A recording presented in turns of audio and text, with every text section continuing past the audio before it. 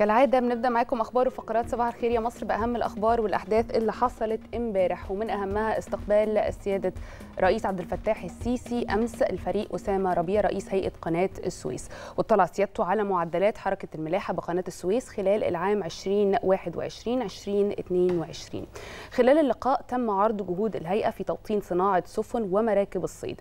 ووجه سيادة الرئيس بتطوير تلك الجهود لإنتاج مراكب صيد تستخدم محليا لصالح فئات الصيادين في البحيرات المصرية. اجتمع السيد الرئيس عبد الفتاح السيسي مع الفريق أسامة ربيع رئيس هيئة قناة السويس. المتحدث الرسمي باسم رئاسة الجمهورية صرح بأن الاجتماع تناول متابعة مشروعات ونشاط هيئة قناة السويس حيث اطلع السيد الرئيس على معدلات حركة الملاحة بقناة السويس خلال العام 2021-2022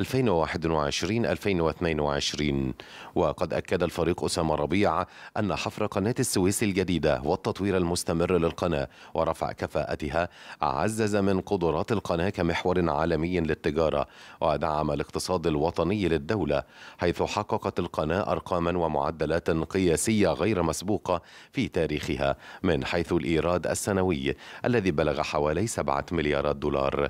وأعلى معدل عبور للسفن وأعلى حمولة صافية بلغت قرابة 1.32 مليار طن فضلا عن النجاح في استقبال الجيل الجديد من سفن الحاويات العملاقة ذات الطاقة الاستيعابية والحمولة الضخمة.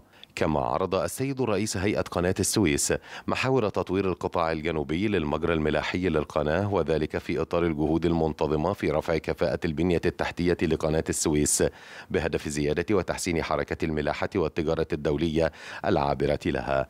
كما استعرض الفريق أسامة ربيع استراتيجية هيئة قناة السويس لتنشيط حركة سياحة اليخوت وتطوير الموانئ الخاصة بها وتدعيمها بكافة اللوجستيات والخدمات اللازمة لتعزيز قدرات مصر كممر لاستقبال وعبور اليخوت نظرا لموقعها المتميز على البحرين الأحمر والمتوسط خاصة خدمات التزود بالوقود والكهرباء والمياه والصيانة السريعة وخدمة انتظار اليخوت وتخزينها لفترة طويلة.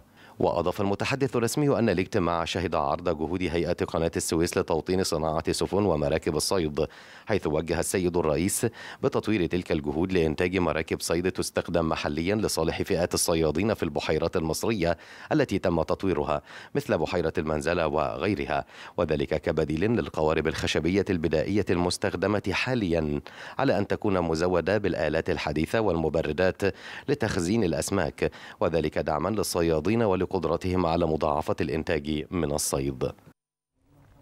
كمان امبارح كان في مجموعة من الأخبار والأحداث المهمة جدا اللي حصلت. يمكن أبرزها تنفيذ القوات البحرية المصرية والأمريكية تدريب بحري عابر بنطاق الأسطول الشمالي وكمان اتخاذ التدابير اللازمة لتنفيذ خطة الدولة لترشيد استهلاك الكهرباء.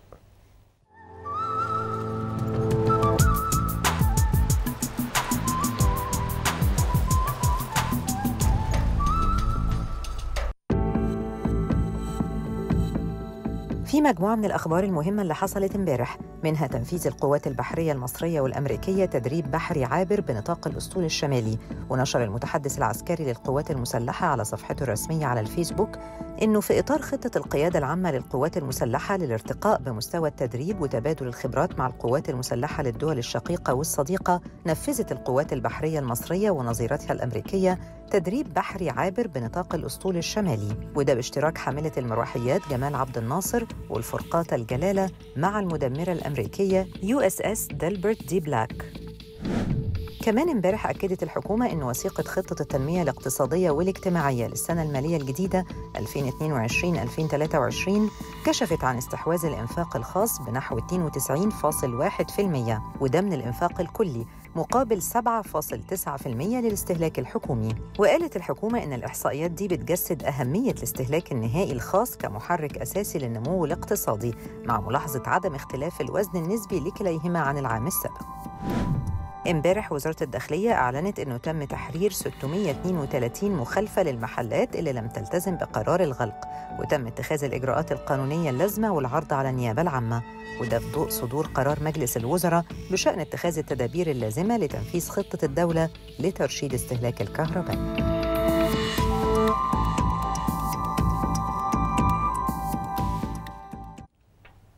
نروح مع حضراتكم لجولة في المحافظات. معانا كمان مجموعة من الأخبار والأحداث اللي حصلت امبارح في المحافظات منها إنشاء تسع مدارس في مطروح استعدادا لاستقبال العام الدراسي الجديد أيضا اعتماد الدليل الموحد للخدمات الحكومية بالوحدات المحلية في قنا وكابيتانو مصر يصل لمحطته الثالثة في أسيوط لاكتشاف المواهب الرياضية. وأخبار تانية كتير هنعرفها مع حضراتكم في سياق التقرير اللي جاي.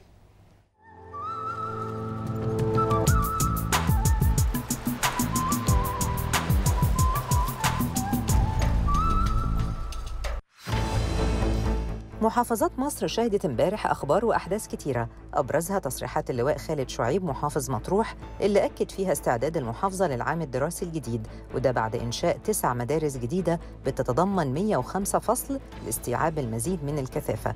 ده غير رفع كفاءة وصيانة ثمان مدارس أخرى بالتعاون مع هيئة الأبنية التعليمية. في جنوب سيناء تفقد امبارح المحافظ اللواء خالد فودة أعمال إنشاء الميادين اللي بيوصل عددهم ل 13 ميدان في شرم الشيخ ومنطقة نبأ. وده ضمن الاستعدادات لاستضافة كوب 27 الميادين دي بيتم تطويرها بمساحات خضراء ونافورات مياه بالتعاون مع عدد من المستثمرين في شرم الشيخ. في الفيوم. افتتح الدكتور أشرف صبحي وزير الشباب والرياضة والدكتور أحمد الأنصاري محافظ الفيوم عن طريق ال video conference أعمال تطوير عدد من المنشآت الرياضية اللي تم تنفيذها بنظام حق الانتفاع BOT بمحافظة الفيوم خلال العام المالي 2021-2022 في قنا تم اعتماد الدليل الموحد للخدمات الحكومية اللي بتقدمها الوحدات المحلية للمواطنين ودليل الخدمات تم إصداره في إطار برنامج التنمية المحلية بصعيد مصر. في البحيرة تم إطلاق واحدة من أكبر القوافل الغذائية تحت شعار معا ضد الغلاء.